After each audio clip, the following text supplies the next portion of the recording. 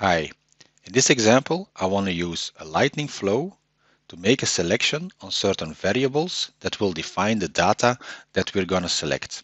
So in this example we're going to say that all we need all the opportunities that are that have a certain stage and the close date should be between these time zones or time uh, date fields. Okay, how do we get started? First of all, of of course, we need an uh, docconfig. So the config I have already set up, and this docconfig has, uh, more importantly, a data source. In the data source, as you can see here, I added certain variables. The variable called stage and the variable called close start, uh, date start and close date end. So what I'm going to select here is all the opportunity records with a certain stage and the stage is defined by my by my variable and uh, that are in between a certain close a certain close dates. And the close dates are also defined by variables. Now let's take a look how to get that done. So we want to take the values entered on screen one of my flow and as you can see my flow has two screens so we want to move from screen one, take these uh, uh, values and then use them to select the right data that I need. So on my second screen, I added actually a uh, lightning convert component, as you can see. Uh, these will be here with your uh, custom components. And this is not a component that comes in a managed package of PDF Butler. So if you want to use this component, make sure to connect to our uh, customer success team, and then we can actually provide you this component. This component can be set up with a certain record that you can uh, that you need. Maybe uh, you need that uh, you can select that record in your flow, or it's uh, dependent on the record from where you start your flow. In this case, we're not going to use that.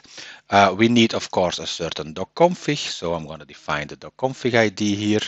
Uh, the height of the viewer. So we want to preview the the document, of course. We don't want to download the document, so I set this to false. Uh, I set the uh, the preview to true, so I really want to uh, see the preview. Make sure this is set to true, um, and then there is a set of parameters that I can choose. As you can see, you can choose up to five parameters in this uh, in this example. If you need more, just contact customer success, and we'll see what we can do for you. Now, the first uh, uh, parameter is called stage. So this stage here, uh, that's just a text. It's not a, the screen component. It's a text. Is actually uh, will actually be used to you on this parameter over here, this stage parameter. And this uh, stage has a certain uh, type.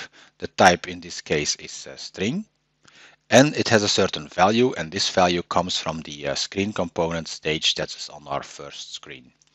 And the same thing, oh, the same thing we're going to do actually for parameter 2 and 3, which is the close date starts and the close date ends. In this case, the type is going to be date and the uh, value comes from the screen, of course, that we have selected before. Um, if you want to know which types you can use, just uh, go over the, uh, the, uh, the type uh, text here and there is string, double, date, datetime, boolean and multi-select. Multi-select is a uh, semicolon separated list of uh, values that you can use to uh, actually add, add parameters, variables to your queries. Okay, let's see this in action. Um, so everything is set up and now we're going to select our data. So I'm going to run this flow if it's uh, linked to a certain screen or whatever, of course, you know uh, that this doesn't really matter. I'm going to say I want to use all the closed won opportunities and the start date and end date is, uh, yeah, these, uh, these dates. So now just click the next button, then it will run the query. As you can see, uh, the we have the values immediately. So this is actually the entire selection of all the closed won opportunities on this uh, um, on this org. And now to really show that it's actually working, let's say that we only want opportunities after, uh, uh, yeah, let's say after mm, February. So uh, let's start in March. Uh, so only these opportunities we want to see, the ones that were closed after uh, uh, after February. So we're gonna rerun our, our flow, of course. I'm gonna still say closed won, uh, and the closed start date was going to be uh, 2019. And then we're gonna select uh, the 1st of March here. No, that's, uh, sorry, the 1st of March is uh, right here. So 1st of March 2019. Okay, next. So now we will take these values and create the document. As you can see, there are far less uh, uh, values now, and only the opportunities shown after this period are, uh, yeah, are selected.